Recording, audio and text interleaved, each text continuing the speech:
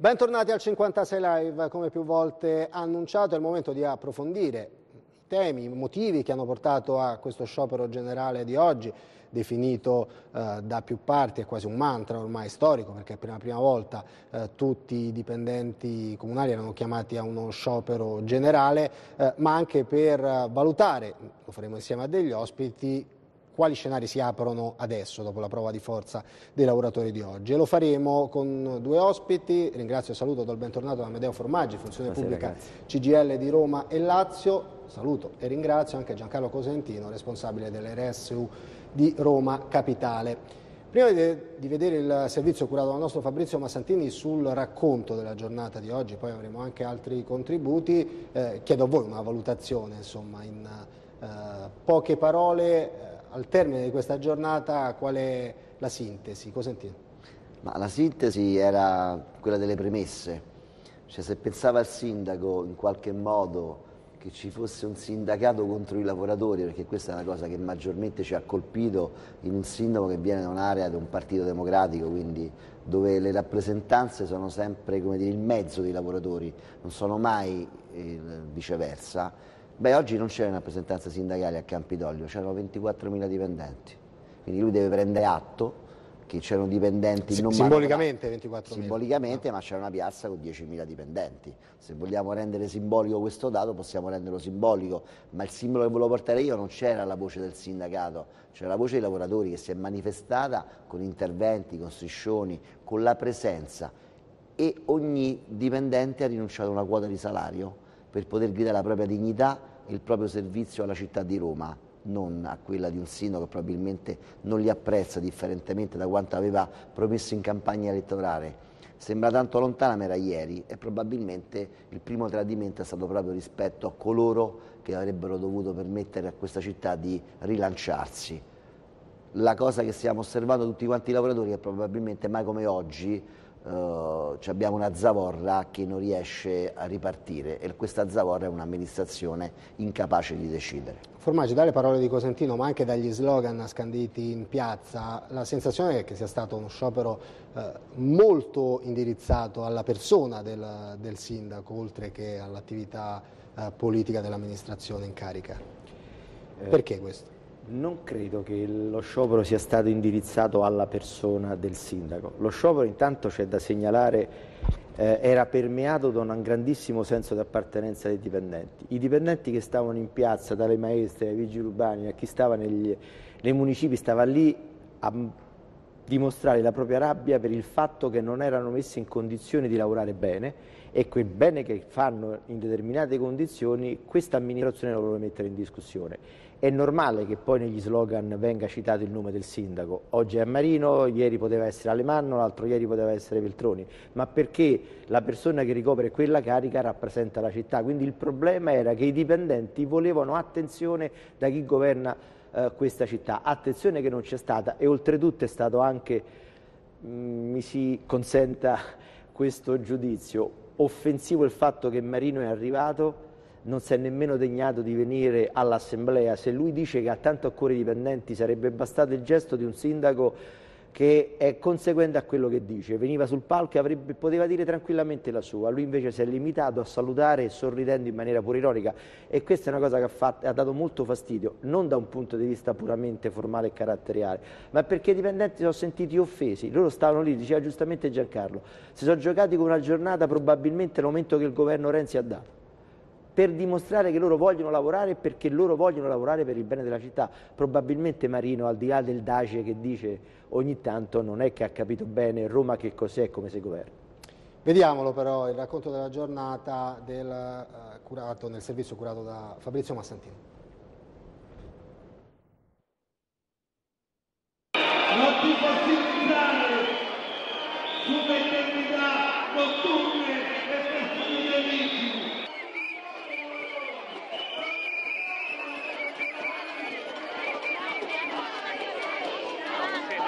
Io sono 42 anni che sto al Comune di Roma, è la prima volta che mi capita di trovare una forza nei lavoratori uniti e compatti. Quindi spero che riusciamo a fare qualcosa di buono per i bambini innanzitutto, che sono i nostri utenti, sono i bambini. Al sindaco Marino vorrei semplicemente dire che non si può, non si può in questo modo, non si può come al solito cominciare dal basso, come al solito ignorare le condizioni non solo salariali ma anche del modo in cui noi lavoriamo. Eh, vogliamo riformare la macchina capitolina, non c'è problema, ascoltasse noi, ascoltasse chi lavora.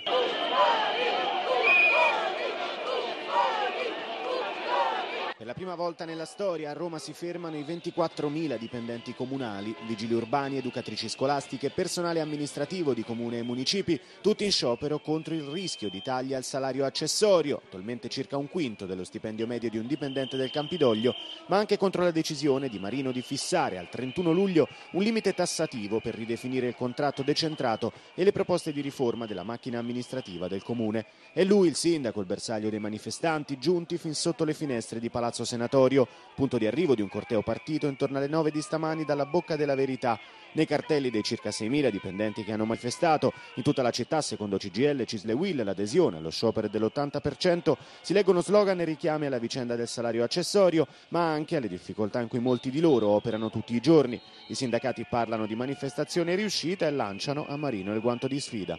Oggi è una splendida giornata, speriamo che il sindaco abbia tenuto aperte le, le finestre del suo studio per ascoltare le rivendicazioni dei lavoratori. I lavoratori da oggi, dalla piazza viene un secco no alle proposte messe in campo fino adesso. Speriamo che il sindaco se ne faccia una ragione, da domani si possa voltare pagina e ripartire per cambiare e far funzionare realmente i servizi della capitale. Un messaggio importante forte a una giunta che non dà seguito alle ragioni del MEF che gli impone di entrare nella gestione allegra delle partecipate, nel taglio delle consulenze, ma si fossilizza sul taglio degli stipendi di lavoratori che prendono 1200 euro al mese.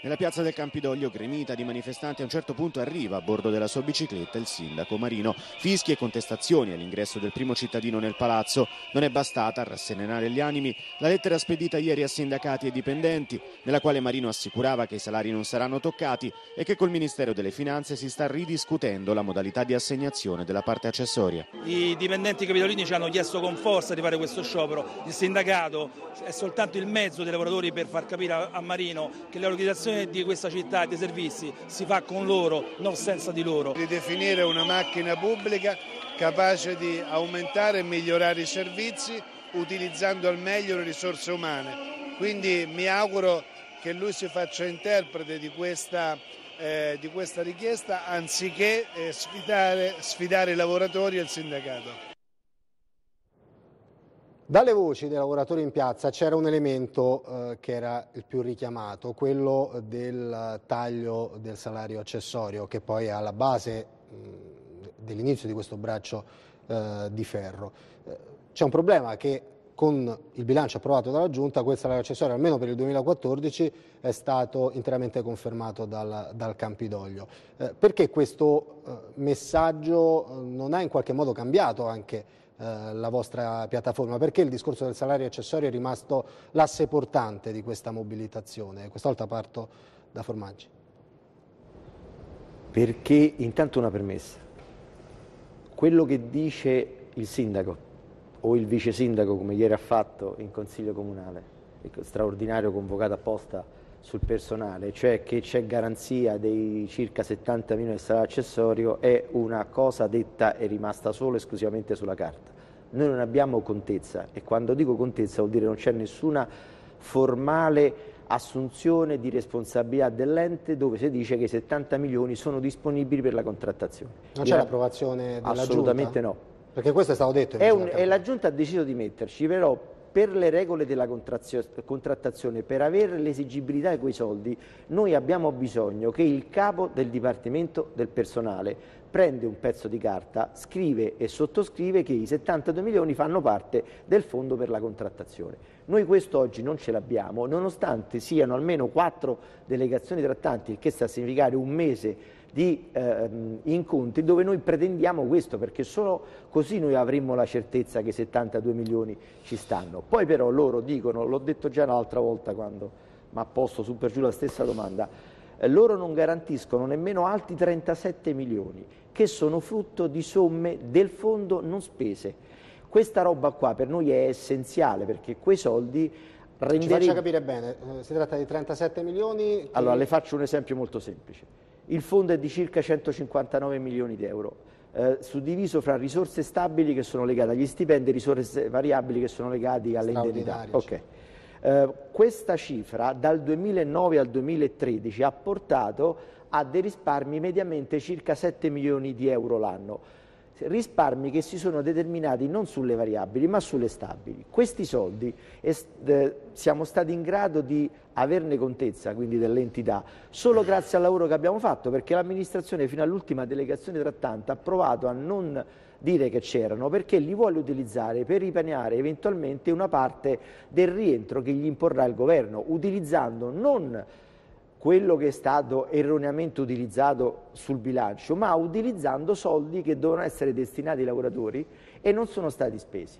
Quindi quello che noi abbiamo chiesto all'amministrazione è avere contezza di quello che è realmente la situazione del fondo di contrattazione per il personale, fra quello che loro hanno detto che hanno stanziato e quello che è avanzato. E su questo, siccome non abbiamo certezze, noi abbiamo continuato a mantenere le nostre posizioni che hanno portato anche allo sciopero. Però ripeto, lo sciopero è questo, ma non è solo questo, perché per noi avere la certezza dei fondi vuol dire che i dipendenti sono in grado di erogare i servizi alla città alla città e alla cittadinanza. Noi ripetiamo sempre che questo è uno sciopero per la città, non è uno sciopero corporativo, nonostante l'amministrazione, anche in base alle ultime dichiarazioni che abbiamo letto prima di venire qui, stia mettendo proprio questo in discussione. Allora sentiamole subito, visto che immagino anche Cosentino poi le richiamerebbe. Ascoltiamo oh, cosa anche ai nostri microfoni oggi ha eh, dichiarato il sindaco rispetto alle eh, modalità di questo sciopero.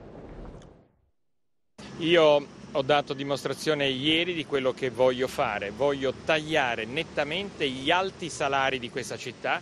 Ieri ho ridotto del 70%, lo ripeto, 70% i salari del, di un consiglio di amministrazione importante di questa città e voglio mantenere o aumentare i salari più bassi, quelli delle persone che guadagnano 1000-1200 euro al mese. L'ho fatto, nel farlo ho anche perduto un assessore che non voleva inserire il salario accessorio nel nostro bilancio 2014, l'ho davvero voluto votare con il salario accessorio il 30 aprile 2014 e ho anche chiesto la possibilità di rientrare nella legge il Ministero dell'Economia aveva trasmesso il 3 luglio del 2008 al sindaco Gianni Alemanno un documento di circa 200 pagine in cui spiegava che il salario accessorio non collegato a prestazioni accessorie è contro la legge. Neanche i sindacati possono chiedere a un sindaco di agire contro la legge e allora io ho detto al governo datemi la possibilità di mantenere il pagamento dei salari accessori in modo che queste persone non vivano in ansia, ma diamoci un tempo, un tempo di 90 giorni per rinegoziare il contratto e farlo anche con una mentalità moderna, quella di premiare di più chi ha più passione, più entusiasmo e chi lavora di più. Io penso che il salario accessorio dato uguale a pioggia a tutti sia un concetto del secolo passato. I sindacati in questo momento eh, stanno andando contro l'interesse dei lavoratori. L'interesse dei lavoratori è che si chiuda questa vicenda che era stata lasciata aperta da Gianni Alemanno dal 3 luglio 2008 e che io ho trovato aperta. Io la voglio chiudere in 90 giorni. Partiamo da quest'ultima affermazione poi sulla ricostruzione storica della vicenda e sull'impianto eh, del nuovo contratto decentrato arriveremo, perché questa credo che sia quella che vi abbia eh, fatto arrabbiare un po' di più. I sindacati stanno lavorando contro gli interessi dei lavoratori. Cosentino? Ma a me rispetto a questa dichiarazione del sindaco delude un po' la superficialità con lui, come lui affronta certe tematiche e di una superficialità che quasi lo assolve perché è ovvio che di quello che sta dicendo conosce molto poco. Innanzitutto quando afferma il fatto che lui ha tagliato gli alti stipendi, io torno a ripetere, è bene che il sindaco cominci a parlare delle prime 300 pagine del, del MEF, perché le prime 300 pagine parlano di società controllate, di società fuori controllo e parlano degli stipendi dei nominati dalla politica. Allora probabilmente il allora, sindaco... Vediamo punto su punto. Su questo Marino dice, io ho dato dimostrazione con Acea, peraltro con una battaglia eh, durata eh, mesi anche con Ma i qui parliamo soci di abbattere stipendi che par... eh, Prego. Portando diciamo, a una riduzione del numero e degli aumenti del Consiglio di amministrazione. E I manager nominati direttamente da questa amministrazione percepiscono mediamente meno rispetto a quelli eh, che li avevano preceduti. Eh, questo è quello che ho fatto fino ad oggi e quello che intendo fare in futuro. Dov'è che ehm, contestate cos'è che contestate in questa ricostruzione? Guardi, noi non contestiamo nulla, quello che contestano sono gli stessi ispettori a cui Marino tutte le volte si rivolge, avendoli, come dice lui, invocati lui, ma sono gli stessi ispettori che però vorrei che il sindaco finalmente, altrimenti la prossima volta ci, dire, ci, porteremo la documentazione, così sarà più facile farlo leggere anche agli ascoltatori, dicono che questa amministrazione, da loro valutata, è in totale, perfetta continuità con l'amministrazione che l'ha preceduta, tant'è, non per nulla, dichiarano anche di eh, dire, appalti, per carità, non eh, messi a bando, dichiarano di personale eh, dire, assunto dalla politica. Io vorrei fare una domanda al sindaco. Eh, un conto è abbattere stipendi da 300-400 mila euro l'anno, ma quando si incide su uno stipendio da 1200 e 1300 euro, è qualcosa di, dire, di, molto, molto, molto sanguinoso. Però ecco, questo è il nodo, perché il sindaco invece dice di non avere alcuna intenzione di ridurre lo stipendio sta nelle sue carte, sta nelle sue carte, sta nelle carte che ha presentato l'assessore Nieri, sta nelle carte che, secondo dire, la loro previsione di rimodulazione del salario, i conti che fa l'amministrazione non li facciamo noi, dai 72 impegnati non prevede di spenderne più di 50, sono i conti che dà l'amministrazione. Quindi noi di fatto abbiamo un terzo di quel salario che scompare dalla loro previsione di impegno. Ecco perché diceva prima Medeo, un conto è dire poi l'abbiamo messo la delibera di giunta, sappiamo tutti quanti che la delibera di giunta è un atto propedeutico al bilancio, ma il vero bilancio ancora Roma non lo ha. È vero lo deve avere a febbraio o a gennaio, stiamo a giugno e ancora Roma non ha un bilancio. Allora la domanda mia è, fin quando non ci sarà un bilancio, quei soldi non esistono. Altro tema, quando dice che i sindacati fanno male i lavoratori, questa forse è la cosa che più fa male, ma fa male i lavoratori, non i sindacati. I sindacati sono terminali dei lavoratori, non sono un qualcosa di auto-organizzato. Allora probabilmente il sindaco, e questa è la cosa che ci rende distanti, nel, anche nel, nell'empatia che lui deve avere, perché io ho detto, questa città prima va capita, una volta capita va rimodernata lui arriva e purtroppo di questa città, torna a ripetere, conosce Palazzo Senatorio e Colosseo, non va oltre questi due limiti, c'è una città che si espande, c'è una città che cresce nella difficoltà e nella mancanza di servizi. Tornando ai lavoratori e alle rappresentanze sindacali, i lavoratori sono quelli che tutti i giorni con mille difficoltà inefficienze organizzative, perché ora noi cosa faremo domani? Spiegheremo ci arriviamo, la città. Ci arriviamo, Dal, da quello che accadrà a partire da domani ci arriviamo certamente. Eh, Formaggi, anche a lei insomma, su, su questo aspetto, cos'è che contesta della ricostruzione eh, di Sostanzialmente di tutto. Come diceva già Giancarlo, eh, la giunta quindi il governo politico della città, vorrei non personalizzare perché se il sindaco parla, parla a nome della giunta in quanto la norma prevede che lui sia il capo politico della giunta e il massimo responsabile della città.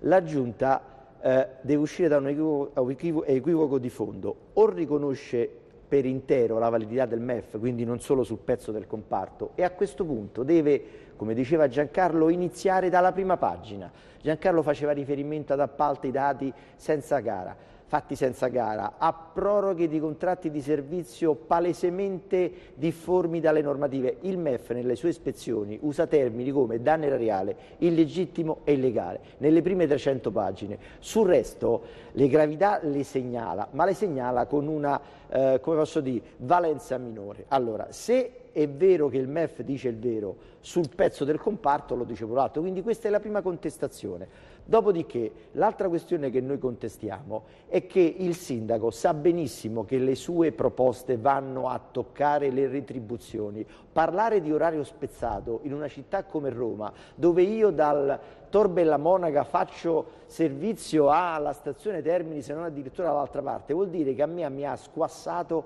la vita. Ora capisco che il posto di lavoro è quello che è, che i servizi vanno erogati, però a tutto c'è un limite. Mi, e chiudo. Sì. Quando mh, abbiamo iniziato la trattativa sulla macrostruttura, noi alcune proposte di merito sul decentramento gliele abbiamo fatte, abbiamo sfidato l'amministrazione a tirare fuori il coraggio e a spostare risorse eh, finanziarie, dirigenziali, professionali dal centro ai municipi. E il sindaco dovrebbe sapere, e se il suo cerco magico non gliel'ha detto glielo dovrebbe dire, che nel comune di Roma già esistono esempi di apertura di sportelli anagrafici di notte, gente che va a lavorare di sabato facendo sportello anagrafico nei mercati, questa roba il sindaco Marziano la deve conoscere, dopodiché, come dice Giancarlo, una volta che ha capito quello che ha di fronte, si mette a lavorare di conseguenza. E chiudo, il suo capo di gabinetto, che probabilmente è uno dei, degli appartenenti al cerco magico che lo consigliano sempre bene, deve capire che fare il capo di gabinetto a Roma non è fare il dirigente al Senato, non ha di fronte questioni legate agli eletti e quindi a sì e no 200-300 dipendenti, ha di fronte 24.000 dipendenti, ma soprattutto ha di fronte una città come Roma. Allora, c'è un punto che non mi è chiaro, eh, ma probabilmente, almeno per come eh, sto interpretando le vostre parole, va un po' in disaccordo rispetto alla ricostruzione. Cioè, se a vostro giudizio il sindaco avrebbe potuto dar seguito alla, eh, agli appunti eh, del, del MEF partendo dall'inizio, non si capisce perché per chiudere il bilancio abbia dovuto chiedere allo stesso Ministero in generale al Governo una sorta di liberatoria sul salario accessorio, la famosa circolare eh, no. governativa che ha dato la possibilità di poter scrivere... Questo è perché quello che, è quello che, che, è la posizione ufficiale del Campidoglio, per questo eh, vi chiedo, un, perché le, le due ricostruzioni, eh, insomma, una delle due non è vera, eh, se il sindaco... Sicuramente la loro. Se, e questo eh, purtroppo non c'è la controparte presente, spiego... però se il sindaco dice sono stato costretto a chiedere al governo una circolare per poter inserire no. nella delibera di bilancio eh, il salario accessorio per i dipendenti, significa che senza di quello non si poteva andare avanti Posso? e, verrebbe meno la vostra ricostruzione. Beh, la nostra ricostruzione è di natura oggettiva, fatta di documentazioni. Il sindaco si smentisce da solo perché dice di aver fatto la delibera di giunta sul salario accessorio il 30 aprile, la circolare del interministeriale è del 13 maggio.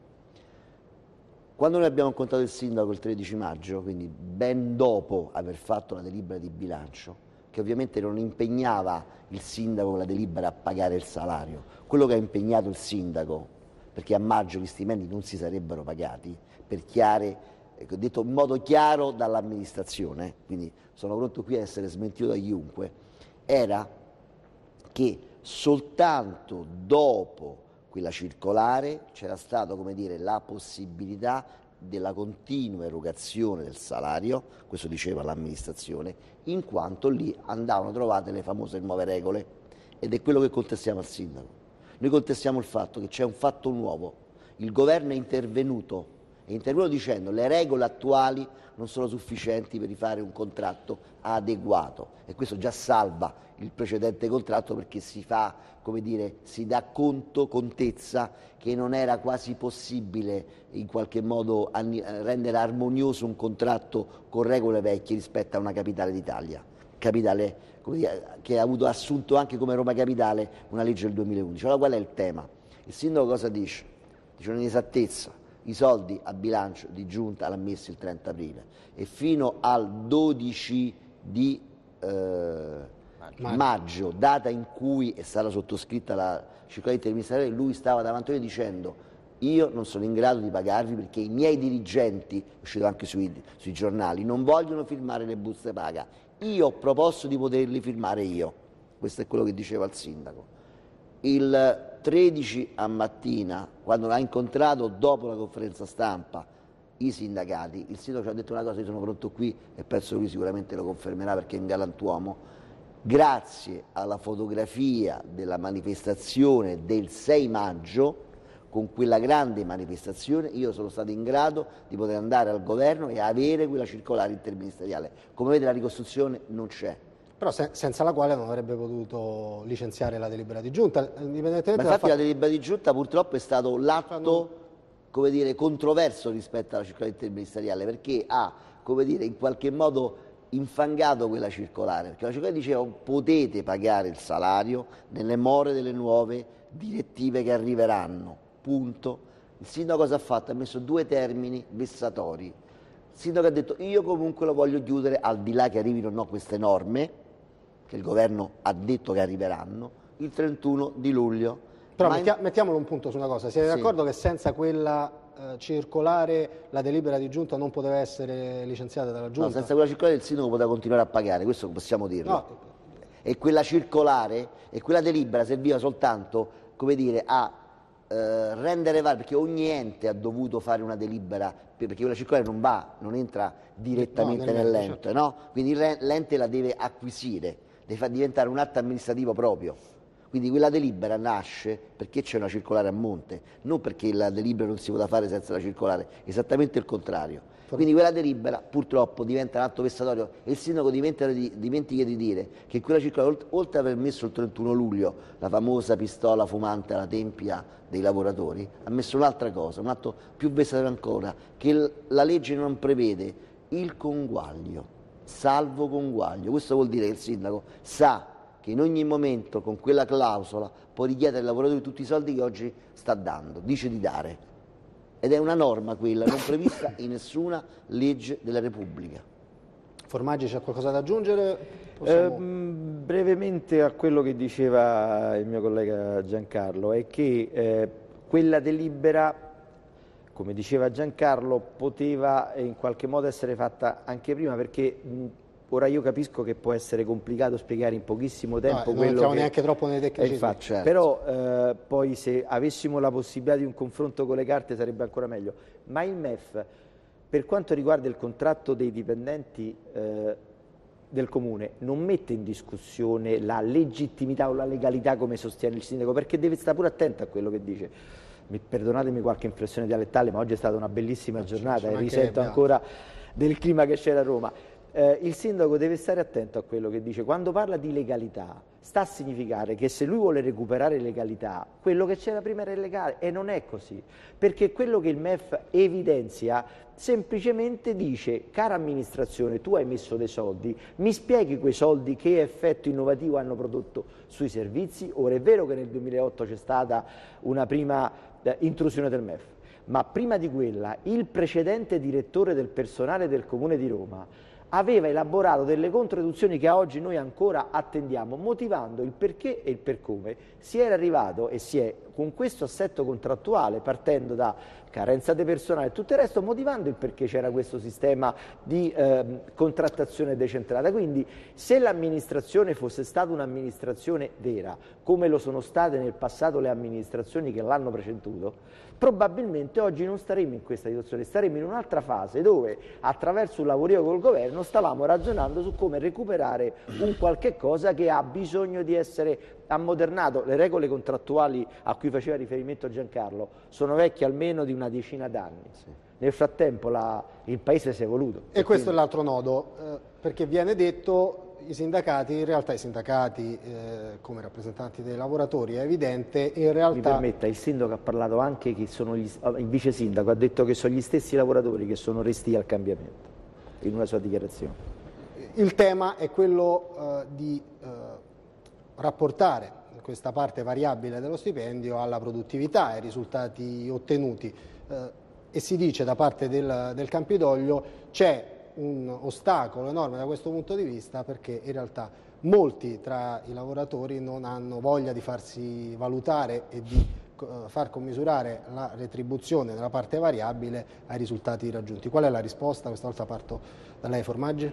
La risposta è che mh, sono costretto per l'ennesima volta a dire che non è vero. I dipendenti del Comune di Roma non sono contrari a una loro valutazione. Nelle 300 assemblee che abbiamo fatto, il fatto che se uno lavora di più o meglio deve essere retribuito in maniera differente, è una cosa ormai acclarata. Il problema vero è che l'organizzazione, i servizi che il Comune rende alla cittadinanza impongono dei sistemi contrattuali che della tanto conclamata produttività forse hanno poco a che fare. Vi faccio due esempi. Il vigile urbano che sta a Piazza Venezia e dirige il traffico monta e smonta secondo il suo lato di lavoro. Il collega che subentra fa su per giù lo stesso lavoro. Ora la produttività che andrebbe applicata a questi due lavoratori, qual è? A secondo di come il vigile muove le mani nel decongestionare o nel far fluire il traffico, oppure l'assistente sociale che dà servizi di prossimità, come deve essere valutata? Oppure quello che sta dietro lo sportello e rilasci certificati. Quindi le, le faccio cose... un esempio, assenteismo, eh, poi lei adesso mi ha portato l'esempio del vigile urbano e chiaramente il vigile urbano in strada fa lo stesso Ma lavoro, servizi... però se ci spostiamo negli uffici sì. probabilmente c'è un metodo di valutazione come avviene nelle strutture private molto più, più agevole e oggettivo eh, da, da, poter mettere, mettere in campo, o sbaglio? Ha perfettamente ragione, il meccanismo che però attualmente già esiste già permetterebbe una valutazione.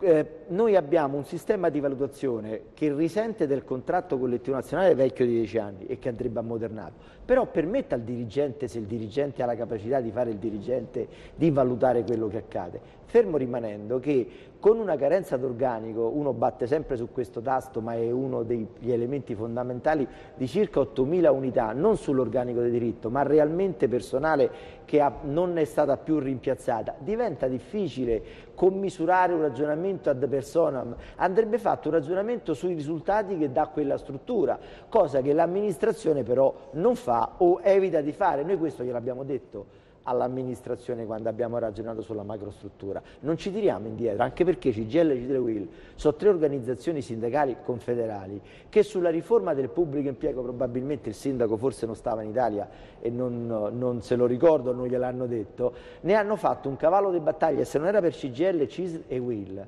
quello che attualmente è stato ammodernato nel pubblico impiego non ci sarebbe stato. Non si può fare il racconto di una giornata del genere senza raccontare anche i disagi vissuti dalla città, come eh, è normale che accada quando ci sono mobilitazioni di questo tipo. Il servizio di Armando Fioretti. Sapeva dello sciopero? Non sapevo nulla, gli autobus sono fermi.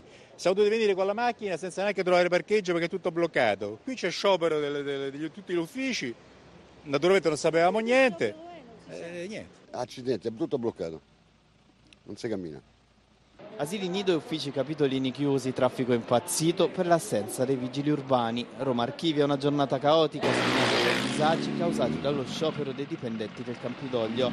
Le ripercussioni maggiori sulla viabilità. L'assenza dei caschi bianchi ha mandato in tilt il traffico in varie zone della città e soprattutto sulle principali direttrici verso il centro, dalla Nomentana alla Tiburtina, dalla Cassia all'Aurelia, dalla Tuscolana alla Trionfale, dalla Prenestina alla Laurentina, dalla Salaria alla Nuova, ma anche sulla tangenziale est, su via Cristoforo Colombo e sul grande raccordo anulare. Causa anche in centro, in particolare nella zona della Bocca della Verità, punto di partenza del corteo dipendente sul Lungotevere. Inoltre in mattinata è stata chiusa al traffico via del Teatro Marcello. Troppo traffico, troppo. troppo. Da dove viene? Celle. Sono un attimo a casa di un amico perché ho bisogno di una mano e sono bloccato. Quanto tempo ci ha messo indicativamente? Fino adesso 40 minuti. Penso che altri 30 ci vorranno. Per fare un pezzetto qua a Bocca della Verità ci ho messo 40 minuti, perciò non è che... Da Circo Massimo a qua 40 minuti. Non solo il traffico però, perché a causa dello sciopero i vari uffici capitolini sono rimasti chiusi, così chi si è recato all'anagrafe in via Petroselio nei municipi della capitale non ha potuto sbrigare le proprie pratiche. Nonostante l'agitazione fosse annunciata da tempo, sono stati diversi i romani che non pensavano di trovare gli sportelli chiusi. Io sul giornale non ho letto niente e questa è una vergogna perché lui non può camminare e non abbiamo soldi per i tassi. Comunque questa è l'Italia, speriamo che cambia quei giovani perché ladri abbiamo già avuti tanti. Eh. Ai vecchi si possono pure buttare a fiume che stanno a posto. Non sapeva dello sciopero? No, non sapevo nulla, dovevo un, ritirare un, un, assegno che era stato praticamente protestato, sono entrato, la, non c'è nessuno, l'unica persona è la signora alla reception che mi ha detto che non è possibile fare nulla. Pensavo che ci fosse per me un servizio mantenuto al minimo, come si fa in genere nei servizi nei paesi civili, no? Quindi in giravuoto insomma? No, un giravuoto no, una passeggiata. Insomma, chi non era informato, insomma, in, questo, in, altre circostanze probabilmente qualche carenza nell'informazione eh, pubblica, ma in questo caso è davvero difficile dirlo, sono due settimane eh, che davvero non si parla d'altro nella città e anche eh, nei quotidiani, nelle pagine romane dei quotidiani. Il problema che sollevava però eh, l'ultimo cittadino che abbiamo sentito è il problema del servizio minimo garantito. Ne abbiamo già parlato quando siete venuti in settimana nell'annunciare, nel presentare eh, questo, questo, sciopero. Qual è eh, stato il problema che ha impedito di, di, dare delle fasce di garanzia? Cosentino? Sono state date tutte le fasce di garanzia per legge. Tutte le fasce di garanzia che ovviamente la legge 146, una delibera di Roma Capitale, quindi stiamo parlando di atti ufficiali, di leggi, di norme, eh, dichiarano dover essere assicurati in questi, in questi, accadimenti, sono stati tutti quanti abbondantemente dire, coperti, ma il problema è capire quali sono i servizi minimi essenziali. E di tutta evidenza che i servizi minimi essenziali sono ridotti a una uh, pattuglia per ogni posto di polizia locale, all'apertura delle case comunali ed alla possibilità ovviamente di ricevere eh, nascite e purtroppo oh, morti e punto perché quelli sono i servizi minimi essenziali. Quindi, Quindi da, da, questo punto di vista... Di questo punto di vista noi siamo stati assolutamente attenti che ogni punto di quello che era l'obbligo che, che, i lavoratori dovevano comunque ottemperare fosse ottemperato e quando in qualche modo i lavoratori avessero espresso la volontà, perché c'è comunque la volontà di voler partecipare allo sciopero, sono stati coperti comunque da persone del sindacato che hanno, pur perdendo la giornata, si sono messi a disposizione per far permettere agli altri lavoratori di andare alla manifestazione. Eh, dalle valutazioni dei cittadini che abbiamo sentito, il messaggio che voi anche questa sera avete cercato di inviare, cioè dal nostro punto di vista, dal vostro punto di vista, uno sciopero eh, anche per i cittadini perché mira ad aumentare e a migliorare il servizio reso alla città, eh, secondo lei Formaggi è passato, da quello che abbiamo sentito non, non del tutto.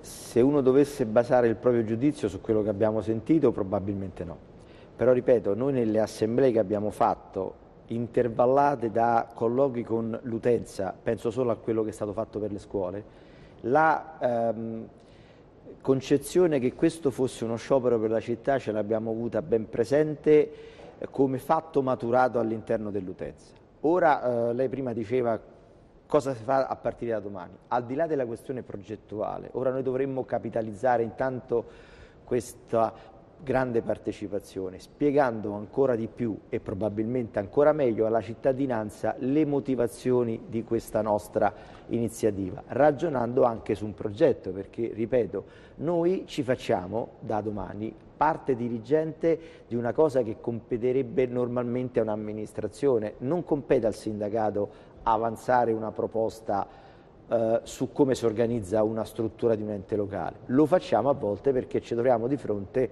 quasi sempre, a una forma di incapacità delle amministrazioni. Non mi riferisco solo al caso del Comune di Roma, ma per chi fa attività sindacale questa cosa è abbastanza frequente. Però la sfida noi adesso la faremo sul merito, avanzeremo noi il nostro progetto, a partire dalle scuole, dalla vigilanza municipale, ai municipi. Quale sarà, quale sarà la vostra, immagino che insomma, adesso si aprirà... Eh tavolo di, di trattative. Voi con eh, la forza anche di questa mobilitazione, il Campidoglio, vedremo se cambierà alcune delle valutazioni che, che, ha fatto in queste ultime settimane, voi dal punto di vista del merito, delle questioni più, più spinose, con quali proposte vi presentate? Noi ci stiamo lavorando perché, come diceva prima Giancarlo, quando faceva riferimento a una almeno decina d'anni di costruzioni contrattuali legate all'organizzazione, capite bene che non è che con un pomeriggio con due giorni o tre giorni questa cosa può essere eh, definita, tenendo ben presente che l'impegno che ci siamo presi nei confronti dei lavoratori consultati in ben due tornate d'assemblee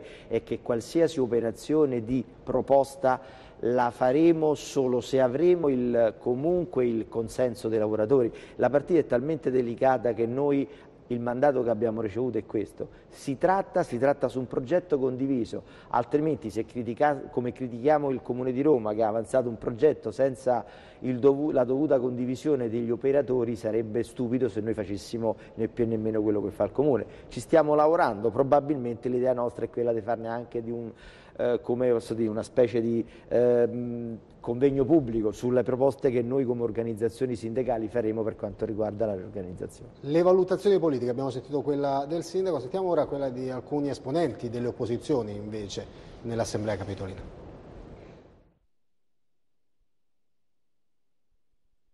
Anche le istituzioni, anche la politica al fianco di questi lavoratori, per quale motivo? Sicuramente perché la decisione di tagliare il salario accessorio è una vergogna, tagliare 200 euro in busta paga a persone che già ne percepiscono 1000 è veramente un Robin Hood al contrario, togliere ai poveri per dare ai ricchi, quindi noi chiediamo all'amministrazione Marino di rivedere questa decisione, di andare con forza al tavolo del MEF, andare dal governo Renzi per fare in modo che gli stipendi dei dipendenti comunali vengano adeguati al costo della vita perché sono bloccati da 10 anni e quindi evitare di metterli in condizione di crisi e di difficoltà economica perché in questo momento togliere i soldi a queste persone è veramente uno schiaffo alla buona volontà che tante persone ci mettono perché Roma va avanti grazie a queste persone e 200 euro al mese di salario accessorio perché di questo parliamo e spieghiamolo non è veramente nulla in confronto a tante altre spese che l'amministrazione potrebbe tagliare.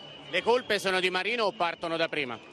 Allora, qui non si tratta di colpe perché il MEF stabilisce che queste decisioni sono state prese dal 2008 ad oggi in continuità amministrativa. Cosa accade? Che non essendoci mai stati gli adeguamenti agli stipendi ai dipendenti pubblici, le amministrazioni per tenere le, le retribuzioni dipendenti al passo con il costo della vita hanno inventato il salario accessorio. Basterebbe prendere questa parte, metterla nell'indennità fissa, nello stipendio fisso dei dipendenti e non parleremo più di salario accessorio. È un errore di forma e di sostanza. La forma perché nel momento in cui ci vuole un dialogo non si può mettere sul tavolo la pistola fumante della data del 31 luglio, è una forzatura inutile che non serve a nulla. La sostanza è che nel momento in cui si dice che è un problema nazionale bisogna dire al governo bene io adeguo questi parametri, però siccome l'adeguamento di questi parametri comporterà che c'è gente che vive con 900 euro al mese, non può vivere, mi fai la cortesia di fare una battaglia anche dell'adeguamento del, del, contratto collettivo fermo nel 1999. Cioè, il punto centrale è va bene adeguare, ma che risposta dai chi oggi ha pianificato la sua esistenza su 1400 euro al mese e se ne trova solamente con 1000? Se si sente solo un signore ne prende le conseguenze e se ne va, altrimenti rimane e se rimane e decide di aprire un dialogo non può farlo mettendo come deadline un 31 luglio con una forzatura inutile. Appone un problema politico questo sciopero che comunque è uno sciopero storico? È un evidente ritiro della fiducia a questa consigliatura. E questa battuta di, di Marchini eh, mi porta a farvi un'ulteriore domanda che riporta ancora una volta eh, delle eh, sensazioni che sono emerse nel, nel, corso del dibattito di queste ultime settimane, ovvero la debolezza politica di Marino anche nei confronti del, del, suo partito ha reso in qualche modo eh, possibile questa mobilitazione, ha reso il terreno fertile eh, per questa mobilitazione. Concordate o no? Cioè, c'è stata anche una spinta eh, politica eh, nella direzione contraria a Marino eh, alla base di, di, questa mobilitazione? Cosentino? Guardi, voglio ribadire con forza che i temi dei lavoratori rimangono fortunatamente all'interno delle organizzazioni sindacali di chi li rappresenta proprio per essere impermeabili alla politica. Noi non siamo strumento di nessun tipo di politica e non lo saremo mai perché l'autonomia delle organizzazioni rispetto alle istanze dei lavoratori deve essere un principio fondante ogni qualvolta noi andiamo a rappresentare persone che appartengono a tutte le categorie politiche. La RSU ad esempio rappresenta i 24.000 dipendenti indifferentemente dalle loro appartenenze sindacali e politiche. È nata apposta per questo motivo. Formato. È ovvio, c'è un dato oggettivo, noi ieri siamo stati invitati a un'audizione al Consiglio Comunale proprio convocato in forma straordinaria sul bilancio e abbiamo dovuto, come dire, in qualche modo eh, incassare, tra virgolette, che i capigruppo del Partito Democratico e di SEL, cioè quelli che sostengono la maggioranza, quello, il capogruppo che sostiene il sindaco, il capogruppo che sostiene l'assessore al personale, hanno dichiarato di essere stati di andare oggi, quindi essere venuti oggi, a manifestare con i dipendenti. E è questo... ovvio che è imbarazzante, forse per qualcuno, ma probabilmente le ragioni dei lavoratori per chi vive in mezzo alla gente sono diversi da chi dalla gente invece credo che in questo momento sia molto lontano. Formaggi c'è stata anche una regia politica alla mobilitazione? Per quanto riguarda il movimento sindacale, sfido chiunque a trovare in questa vertenza, nei documenti e nei volantini che abbiamo fatto, un qualsiasi riferimento a pezzi di segmenti politici che possono in qualche modo stare dentro questa vertenza. C'è un tempo per tutto, questa è una vertenza esclusivamente sindacale e a noi riguarda solo la questione di merito, la città, i servizi, come questi servizi vanno resi e quindi le retribuzioni dei dipendenti. Dopodiché se c'è qualcun altro che pensa che su questa partita vuole introdurre elementi suoi, eh, a noi eh, non, sia, non, solo non siamo indisponibili, ma interessa assolutamente zero. Prendiamo atto, come diceva però Giancarlo, che ieri la politica tutta ha perso un'occasione per dimostrare l'attaccamento alla città prima ancora che ai dipendenti. Ai dipendenti l'attaccamento, se lo dimostri alla città, diventa una cosa conseguenziale ed è stato avvilente. Io faccio attività sindacale da un bel po' di tempo. Eh, ho iniziato quando c'era la Prima Repubblica. Mi sono vissuto tutta questa fase. Devo dire che il livello che ho visto ieri in Consiglio Comunale in alcuni momenti mi ha fatto rimpiangere altri consigli comunali di tempi andati non si capiva quello che realmente è in gioco in questo momento, e cioè Roma capitale e i suoi servizi. E l'assenza del sindaco, a nostro giudizio, è stata la dimostrazione che probabilmente per il sindaco attuale i dipendenti di, del Comune di Roma non sono una priorità, altrimenti sarebbe venuto, non avrebbe fatto scrivere la lettera che poi è circolata sul sito senza presenziare eh, al Consiglio Comunale, su un Consiglio straordinario convocato per discutere delle questioni del personale. Grazie, grazie ad entrambi. Ora eh, si aprirà, ce lo auguriamo un po' tutti, il, di nuovo il tavolo sul merito della questione. L'invito allora ve lo rivolgo tra qualche tempo, quando i temi torneranno ad essere d'attualità, se possibile, se sarà possibile anche con la controparte politica della maggioranza politica nell'amministrazione. Grazie a entrambi, grazie ad Amedeo Formaggi, funzione pubblica CGL, grazie a Giancarlo Cosentino, RSU di Roma Capitale. Ci fermiamo, pausa pubblicitaria e poi torniamo insieme.